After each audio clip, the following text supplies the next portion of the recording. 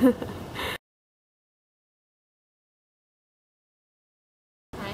Alpha Phi Omega, the service fraternity, and um, Backdrop Magazine, and I just started WUB, the news station.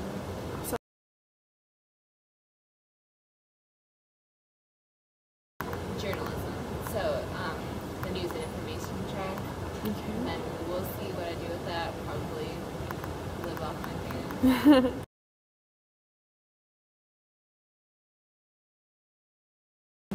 My dream job would be like this is just that like a big